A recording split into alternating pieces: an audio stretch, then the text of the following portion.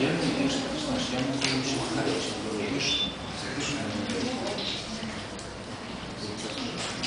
говоришь.